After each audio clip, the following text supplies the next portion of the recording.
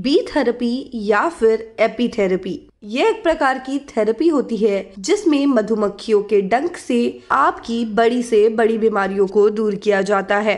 घुटने का दर्द हो, कमर का दर्द हो, नसों की सूजन हो या फिर कैंसर। बी थेरेपी से आप इन बड़ी बीमारियों का भी इलाज कर सकते हैं। कैंसर के थर्ड स्टेज तक बी थेरेपी का इलाज कारगर साबित हुआ है। भोपाल में भी बी थेरेपी शुरू हो चुकी है, जिसकी मदद से अपनी बड़ी से बड़ी बीमारियों को दूर कर सकते हैं। इसकी खास बात तो ये है कि इसका कोई साइड इफ़ेक्ट नहीं होता है और ये एक प्रमाणित इलाज माना जाता है।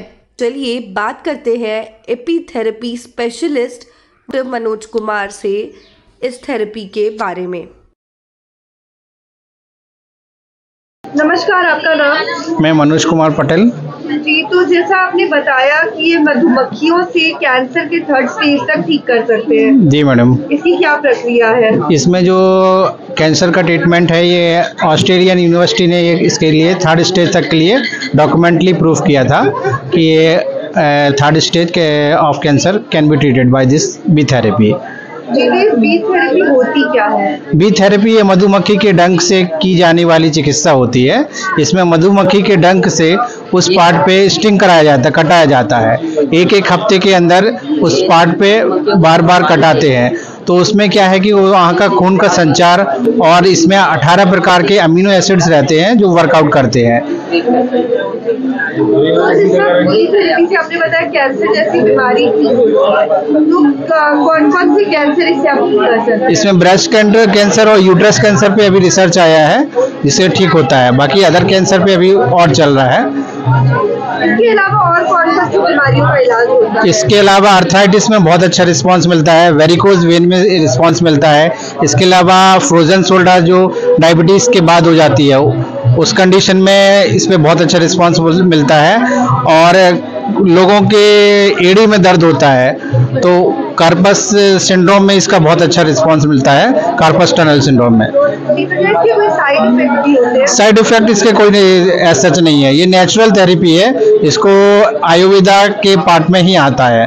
तो ये नेचुरल तरीके से ठीक होती है। एपी थेरेपी को इसको बोला जाता है या बी वेनम थेरेपी इसको बोलते हैं सर जी। तो आपको इस चीज़ का कैसे आइडिया आया कि आपको बी थेरेपी से बी थेरेपी करनी है? एक्चुअली मैं मैं अपने पिताजी का ट्रीटमेंट खोज रहा था। पहले से मैं बी कीपिंग करता था और मैंने कुछ वीडियो अमेरिका के देखे थे।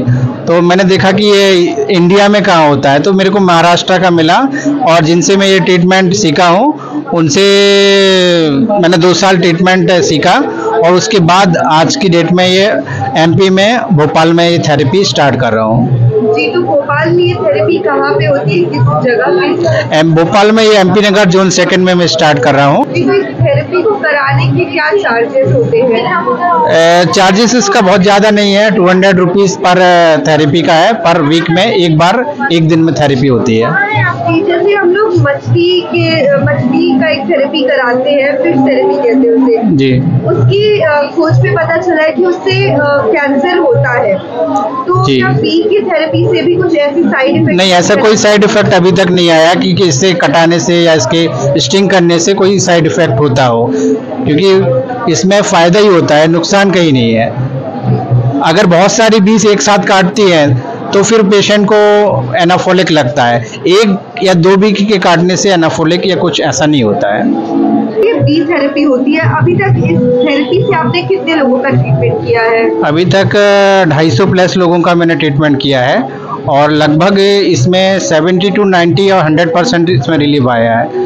कुछ ऐसे केसेस मेरे में आए हैं जिनको डॉक्टर ने टोटली रिप्लेसमेंट के लिए रखा था। ऐसे तीन केसेस हैं जो कि 100 परसेंट आज की डेट में सक्सेसफुली अपने पैरों पे चल पा रहे हैं बिना ट्रीटमेंट के बिना ट्रांसप्लांटेशन के। जी तो क्या कैंसर का भी आपने कोई इलाज किया है अभी तक? कैंसर का एक पेशेंट आया था मेरे पास ब्रेस्ट कैंसर का था। उसमें उसको काफ़ी प्रॉब्लम थी। तो जब मैंने स्टिंग दिया तो उसकी जो गांठ थी ब्रेस्ट कैंसर की पूरा डिजोल्व हो गई।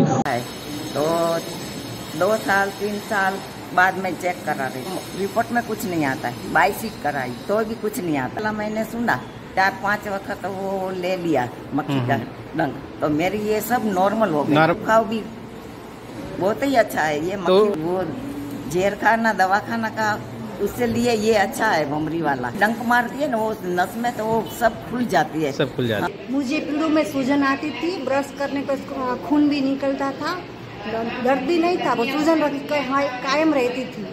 मैं आ, ये लगाया मधुमक्खी का डंक लगाया तो फ़र्क हो गया अच्छा सा हो गया। देखो नाक नहीं, दो डॉक्टर इसके लिए नाक निकालना पड़ेगा, ऐसा बोला। मंजुला पचौरी दस साल से इतना परेशान थी कि बेड से उठ भी नहीं सकती थी, बिना सहारे के चल भी नहीं सकती थी। यहाँ तक कि मैं दस मिनट लगातार बैठ नहीं सकती थी, ना ही लेट सकती थी। इतना भयानक वाला दर्द होता था ना कि तीनों टाइम मुझे पेन किलर लेना पड़ता था और फिर भी वो बंद नहीं होता था। डॉक्टर ने मुझे बोला था कि आपको ऑपरेशन अभी कराना पड़ेगा, वरना आपकी स्पाइनल प्रॉब्लम बढ़ जाएगी। आगे चल के उसका भी ऑपरेशन करना पड़ेगा।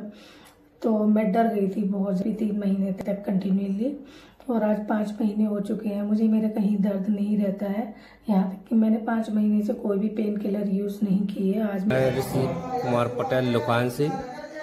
घुटनों में दर्द होने की वजह से थेरेपी ले रहा था। ले रहा हूँ, आज भी ले रहा हूँ। तो मुझे छः बार में लगभग पचास से साठ परसेंट आ रहा हूँ।